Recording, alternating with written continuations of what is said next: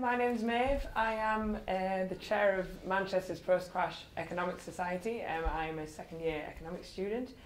Um, so Tom asked me to come here and he gave me four questions that I could um, that I might want to talk about. So I've just done that. And um, the first one was about what we've done at Manchester. And the second one is what we see the role of students in curriculum reform to be. Um, third one is some comments on the core curriculum. I was at the um, at the event in November so we as a society have, have produced some feedback on that. And um, lastly, the role of activism in economics, which I thought was quite an exciting question. Um, okay, so firstly, I'm just going to discuss like a little bit about what we've done in Manchester um, and the things that we're proud of and what our successes have been, um, rather than our failures, because this is more exciting. Um, so the first thing that we're really proud of is the way that our society is structured. We've got three um, branches, and I think they all work very well together. But first and foremost, we are a campaign society. Um, uh, we have yeah the campaign branch, and we have an events branch, which is events like this where we promote discussion and broaden our audience and involve other people in the debate. Um, and then we have an education branch where we teach ourselves uh, the economics that we're not getting taught um, in our degrees. Um, so we have produced the thing that we're proudest of, well, the thing that I'm proudest of, I didn't actually write it, but I put some bits in, um, is we've produced a report on Manchester Economics Department, and I think it's um, a really important thing to do because we've looked at the way the undergraduate um, syllabus is structured.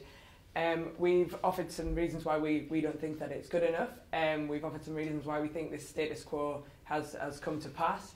Um, we've looked at some of the constraints, and there's very real constraints on universities um, in, in their teaching um, syllabuses.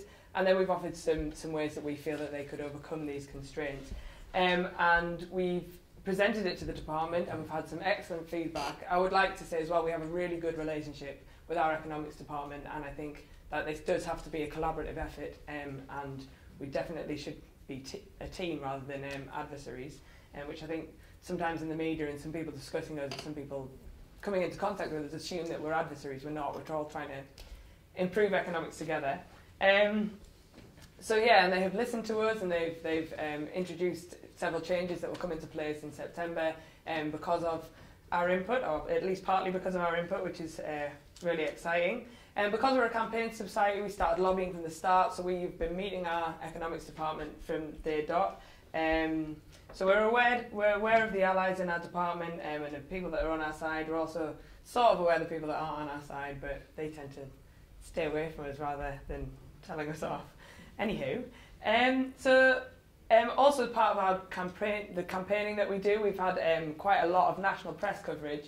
And I think the thing that we're, that we're really pleased with about this is it's inspired universities across the country to start up similar societies. Now, Better Economics existed before we existed, before we existed. Um, but there's other um, other societies across the country that have, have started off off the back of this um, stuff, and it does have to be a national movement. I mean, Manchester could adopt an amazing syllabus tomorrow, and it wouldn't really make the change that we're that we're wanting to see.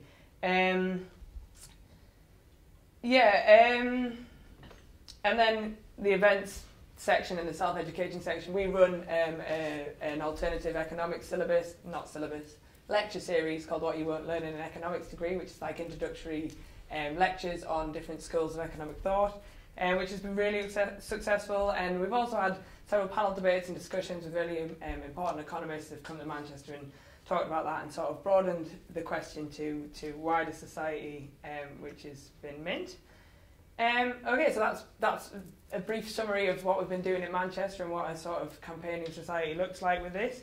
Um, so I'm just going to talk about the role of students in curriculum reform. Um, and one of the first questions we got asked when we started up was, um, and when we started talking to our department, is what gives you the right as as students who've been studying this for a couple of months to tell me, who is who is an academic who's been studying this for decades, and what I should be teaching you?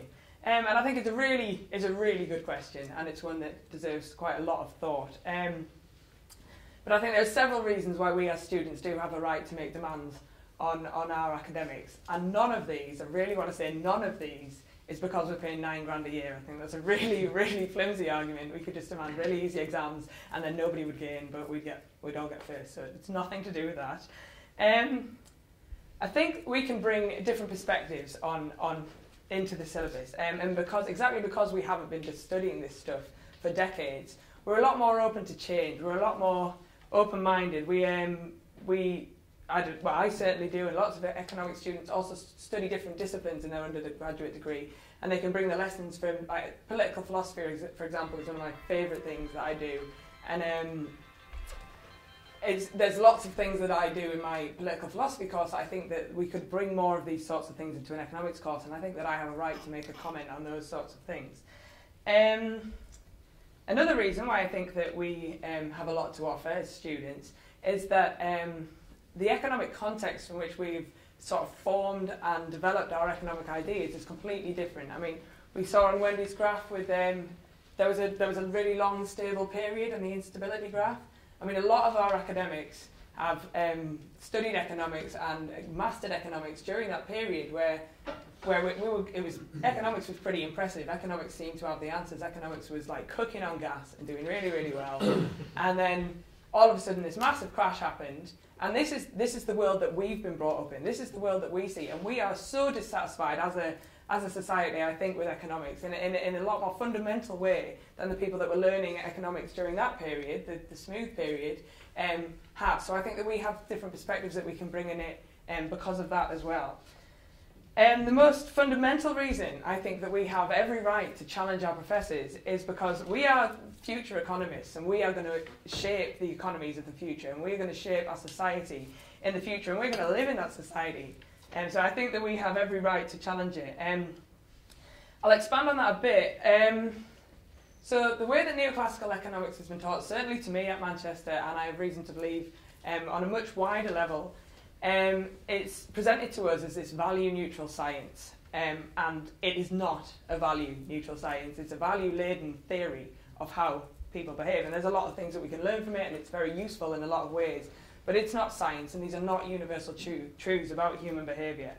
Um, so the sort of methodology that I've been taught is um, individual agents uh, optimizing either profit or utility in perfectly competitive markets um, and working towards equilibrium. Um, and there is there are lots of values in this in this methodology. So it values some things over others. So uh, the individual over the collective, um, optimization of an individual's utility over the promotion of social good, and uh, competition over cooperation.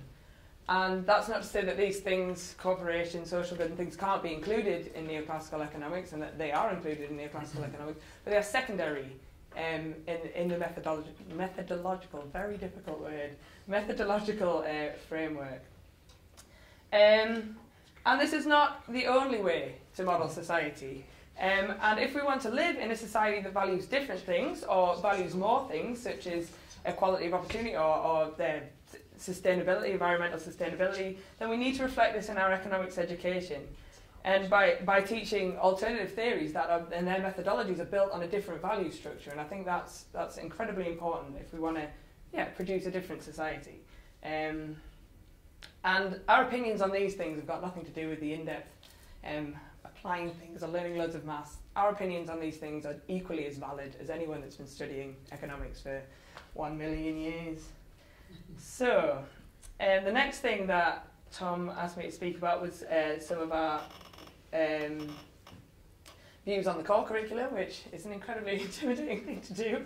Um, so yeah, we. I would really like to preface this with I've only looked at the pilot material. I went to um, a, a, discussion about this in November, um, and I'm just going to offer a few things that we think about that. Um, first and foremost, I think it's absolutely amazing that this this problem with economics has been recognised and the people are doing stuff about it. And I think it's it's um, a really exciting project. Um, also, the, the, the, the, the focus on data and real world application of economic ideas is exactly the sort of thing that we're championing. But as you can uh, probably predict, uh, there is no, we, we, we're not happy with the fact that there is no um, alternative schools of thought. Um, and this means to us that the, the mainstream neoclassical economics is left uncontested and its weaknesses left unchallenged. And this is the fundamental core of economics education to include um, yeah, different theories with different value structures and so on and so forth. Um, yeah, um, so uh, like a, an example of this, and as I, as I say, we've only looked at uh, the pilot material, but it does talk about the Great Recession. Um, and we thought in this maybe you could compare a monetarist and a, a Keynesian view of the Great Depression and then comment on how these, these apply to what's going on today. Um, you could even talk about a Marxist or an Austrian view on this, if only just to say why these theories are wrong, um, or why that you think they're wrong and this, this theory champions over them. Um, and I think the sort of this sort of approach opens up questions and debates and leads to a much more well-rounded um, view of why these things happen. Um, it does. There is a lot of real-world issues um, that it tackles, which is absolutely fantastic. Um, but, for example, they do an explanation that we've read about. This explanation of the financial crisis, and it does seem just like a bit of a doctored version of the standard ISLM model, um, and the financial crisis represented by a shift in the IS curve. Um, and we felt that this doesn't really explain why it happened. This doesn't explain why boom led to bust, um, how it might have been prevented, why it wasn't prevented. Um, and in the material that we've seen, and it seems like from what you're saying, this is this is not the case in, in the, the curriculum as a whole. But yeah, there wasn't uh, much acknowledgement of the role of policies and institutions in complex human behaviour. But as I say, just we've only just seen this very small snippet. Um, and we, yeah, we would like a large range of explanations so that we can form a well-considered opinion on this sort of stuff. Um, it does give a nod to history, which I think is is really fantastic. But because it doesn't include alternative schools of thought, it doesn't. The history of economic thought doesn't seem to be there. There is there is a view of history, but there's not. It doesn't start with Smith and move up, or to an. I think it's quite one-sided, and it doesn't really introduce um, room for interpretation or room to critique in, in the stuff that we've, we've looked at. Okay, and then the last question, which was the question that I was really excited about, was uh, the role of activism in economics. And I think it's a bit of a silly question because it's not the role of activism within economics, it's the role of activism full stop. I think activism is just so important. Um, it shapes and reshapes social norms. It can be as large as a sweeping movement, or as large as, like, we're trying to build a movement here, and this is quite a large activist thing, or it can be as small as just talking to people in the pub about ideas, or noticing that your local community centre doesn't have um, wheelchair access and trying to make change in, in a small way. Um, and I think it's the only way that society progresses. Um, I see, think that activism, if we see something that we don't like, then we should question it. We should, we should constantly be asking why. And we should try and understand why something is like that. And if we're still not happy with it, once we've understood why it's like that, then we should speak out about it and we should try and change it. And our opinions, all of our opinions on this stuff is, is really valid, I believe. Um, I believe this is the way that society progresses uh, by looking at things that aren't working and figuring out ways to make them work. Um, and I think without activism, we would never change social norms. So I wouldn't be able to vote. Um, it would likely be a lot more hard in England for people with uh, people of ethnic minorities or people with disabilities.